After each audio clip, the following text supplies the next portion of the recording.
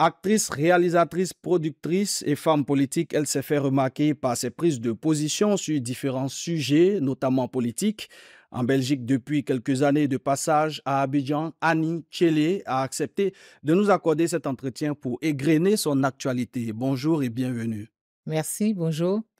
Alors, vous avez été révélée au grand public par le cinéma. Oui. Ça, on le sait. Euh, mais au début des années 2000, vous êtes devenue une euh, actrice de la scène politique ivoirienne. Comment expliquer cela? Mais je ne suis pas une femme politique, je veux le préciser. Mhm. Moi, je n'ai jamais été encartée euh, dans un parti politique. Oui. Euh, je suis une artiste, je suis une actrice, réalisatrice, comme vous avez dit là, Mhm. euh, directrice du FICA, Festival international du court-métrage d'Abidjan. Mais c'est vrai que je me suis impliquée euh, dans des causes parce que ce que moi je combats, c'est l'injustice. Oui. Voilà. Euh, dès qu'il y a injustice, je me sens interpellée, Mhm. concernée. Et donc, euh, par exemple, quand notre pays a subi une attaque, j'ai estimé que c'était injuste que un homme, en l'occurrence l'ex-président Laurent Gbagbo, qui venait de prendre le pouvoir, j'ai Mhm. estimé que c'était pas juste de, de l'attaquer dans son pouvoir. C'est tout. Oui. Donc, moi, c'est l'injustice que je combats. Ce n'est Et, et- et à pas. l'époque, euh, vous avez créé une émission entre, euh, Entre entre nous, nous. entre nous, c'était pour euh, entre nous, on a fait est ensemble. Après, on a fait entre nous, c'était vraiment euh, pour prôner la paix, pour Mhm. faire se rencontrer les gens, pour que les gens échangent, s'expriment et que euh, on puisse sortir de cette situation de conflit. Mais après, vous êtes parti en exil.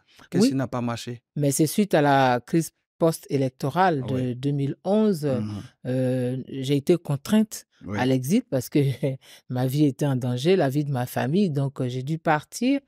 Euh, voilà, c'est comme beaucoup sont partis.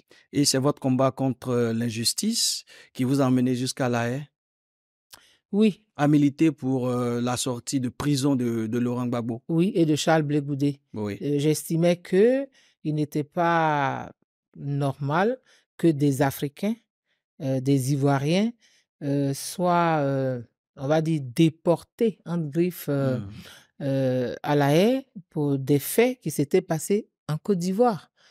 Donc, j'ai soutenu là aussi jusqu'à ce que jusqu'à ce qu'ils sortent. Ils sortent, ils sont acquittés, mais Oui. aujourd'hui, ils sont séparés. Ah oui, mais je ne sais pas s'ils sont séparés, mais c'est la vie aussi. On n'est pas obligé de- de- on n'est pas obligé d'être ensemble tout le temps. Oui. Chacun trace son chemin. Chacun, voilà. Le vendredi 24 novembre dernier, vous avez été aperçu au congrès du, du COGEP. Dites-nous, est-ce que vous avez choisi un camp particulier, notamment celui de, de Charles Blé Goudé? Non, je n'ai pas choisi un camp Mhm. politique. Oui. Je- je- vraiment, je tiens à le préciser. Je n'ai pas choisi un camp politique. Mhm. Mais je suis lié à Charles Blé Goudé.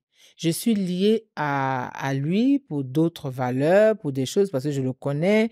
Je, je- c'est quelqu'un qui, est- qui me semble, enfin, qui m'a convaincu. Vous parliez de, de ses sacrifices. Voilà, il a, il a, il a, il a, il s'est beaucoup sacrifié et j'ai estimé que euh, en retour, il n'avait pas, on ne lui, on ne lui avait pas renvoyé l'ascenseur correctement. Donc je soutiens cela. Je l'ai vu pleurer, je l'ai vu souffrir euh, depuis la haie. Euh, j'ai, suivi son combat déjà depuis ici, dans Mhm. la galaxie patriotique Oui. où j'étais. Donc je connais son parcours. Mhm. Et euh, c'est pour cela que je, je, je suis très proche de lui. Et quand il a eu son congrès, voilà, je suis venue parce qu'il fallait que je sois là.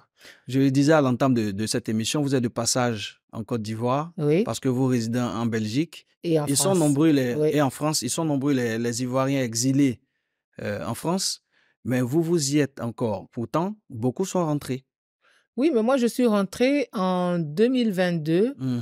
euh, grâce au ministre euh, Kakabe qui, qui m'a vraiment euh, fait rentrer. Donc, je suis rentrée. Je ne suis plus en exil, Oui. mais euh, euh, il faut, il faut se, voilà, il faut s'installer, il faut reconstruire. Mhm. Donc, je suis dans cette phase-là de reconstruction, ça qui m'emmène à faire des va-et-vient, euh, voilà, pour retrouver mes, mes marques, euh, mes activités. C'est pas évident parce que moi, on m'a tout pillé, on m'a tout volé. Donc, euh, il faut tout reconstruire. Les Donc, activités euh, voilà. lesquelles Vous avez parlé du FICA. Oui, le FICA, le Festival international du court métrage d'Abidjan Mhm. que j'avais créé depuis 97, hein. Oui. Et donc, heu, voilà, ça, je ne l'ai plus fait depuis 2010 Mhm. et puis ma boîte de production, heu, voilà, donc tout ça, il faut je suis dans la phase de reconstruction.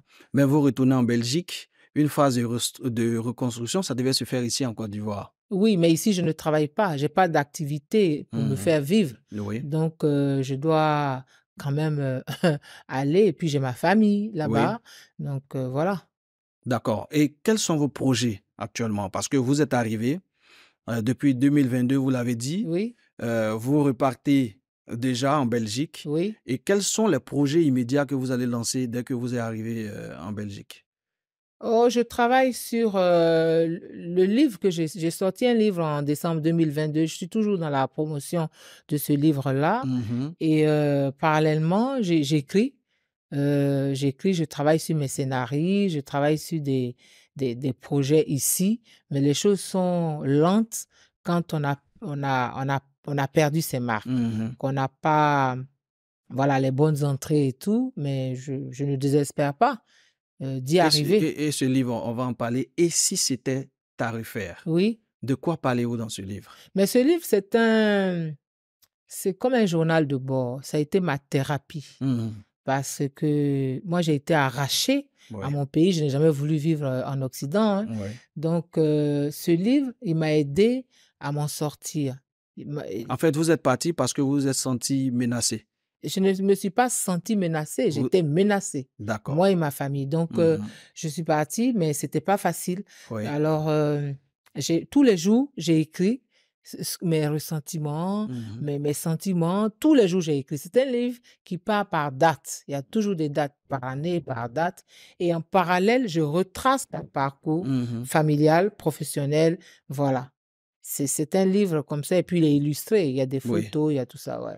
D'accord et heu, par rapport à ce livre justement, heu, est-ce que vous avez déjà fait la dédicace ici en Côte d'Ivoire? Est-ce Oui. que vous avez, heu, reçu des personnalités? Oui, j'ai fait la dédicace. On a fait la grande dédicace au mois de mai parce que j'étais là pour le salon du livre, parce Mhm. qu'il est sorti ici Oui. et j'ai un éditeur ici. Et puis là, je suis revenue, j'ai fait la tournée des librairies de France, d'Abidjan, pour dédicacer. Voilà, ça c'est une activité que j'ai menée. J'étais là pour ça. Bon, et puis aussi, j'étais pour, heu, je suis là pour des choses familiales, heu, Et vous avez parlé de de d'autres projets d'écriture que vous avez Oui, au de niveau de de la littérature? non, au au niveau de de du cinéma. Du cinéma? oui, au niveau de des Votre regard sur le cinéma ivoirien? Oh, je je n'ai pas suivi vraiment ce qui se fait en termes de cinématographie ici. Je sais qu'il y Mmh. a des films qui se font, il y a des séries, Mhm. heu, il y a des films de télévision, Oui. mais le cinéma en tant que tel, heu heu, je je n'ai pas suivi, je n'ai pas vraiment, d'idée. Et votre projet par rapport au FICA? Puisque nous sommes dans le cinéma. Est-ce que vous comptez relancer le FICA? Je Et veux quand? bien, j'aimerais bien le relancer, mais ça Mhm. a besoin de de de partenaires, de financement, de tout ça. Donc c'est à ça que que je travaille avec, heu, des gens qui sont ici et puis qui veulent bien écouter ce que je dis. Heu, voilà, donc j'espère le relancer en tout cas. Vous savez que comme nous ici à cette info, les Ivoiriens sont très heureux de vous revoir, sur un plateau télé. C'est vrai? Parce que oui, bien sûr, on vous a connus ici sur des plateaux en Côte d'Ivoire avec, des émissions qui avaient de la gueule. C'est ce qu'on on c'est comme ça qu'on parle dans notre jargon. Si on devait retenir quelque chose de vous, Annie Tchélé, avant de partir, parce qu'on est pratiquement à la fin de cette Si émission. on devait retenir quelque chose de moi? Mhm.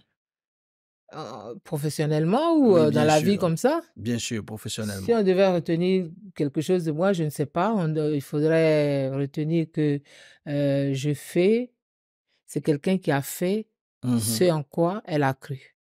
Oui. Voilà. Et qui ne regrette rien. Non, je ne regrette pas, j'avance toujours. Merci d'être passé sur ce C'est plateau. moi qui vous remercie. Merci chers téléspectateurs et bonne suite des programmes sur cette info. Au revoir.